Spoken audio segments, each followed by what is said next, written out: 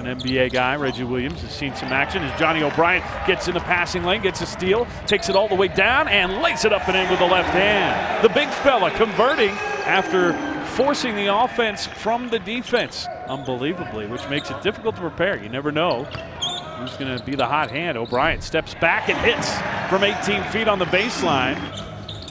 Ski bounces for O'Bryant. Again with Dakari Johnson. He'll step back and try the three and hit it as well. Back to back trifectas for the Suns. Bounces for O'Bryant. He'll make his move against Zeus. Four seconds to shoot, and he hits. Just a quick pull up jumper from the baseline for Johnny O'Bryant. Whizzes it into the corner for Millsap, who goes up strong, had it blocked away. Loose ball to O'Bryant, who finishes the loose change.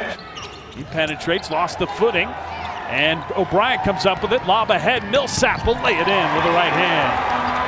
Defense turning to offense in the third quarter for Oklahoma City. Millsap reverse layup doesn't go. O'Bryant there for the putback, and that's the first bucket in several minutes for the Sun. Bryant, Suns down by two. Booker now dribbles around Caruso, bounces O'Bryant. He'll put it up and in. Count the basket and the foul.